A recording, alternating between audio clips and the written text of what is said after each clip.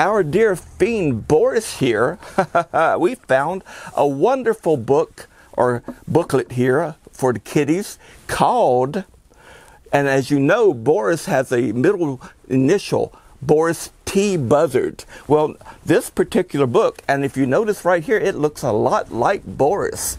And in fact, it's called Boris the not so bad buzzard.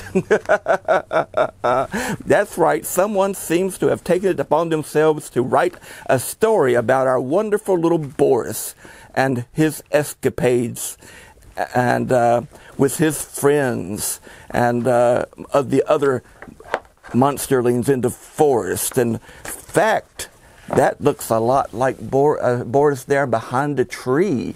And it's a, it's a wonderful little read that, um, that, that goes along with, uh, well, you know, things that you can, you can read the kiddies before bedtime. uh, and, well, let's see here.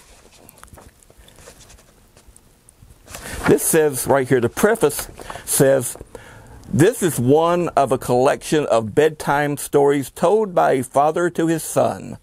These once upon a time stories were originally created with the talent of putting a three year old to sleep.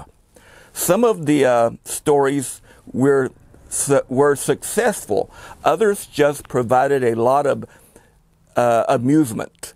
Uh, we hope you enjoy reading them as much as we did creating them. Enjoy. Isn't that nice? and I bet these little uh, tidbits will keep those little critters awake all night long. Isn't that, isn't that wonderful, Boris? I, I, I'll put that in the museum right beside of your picture, eh?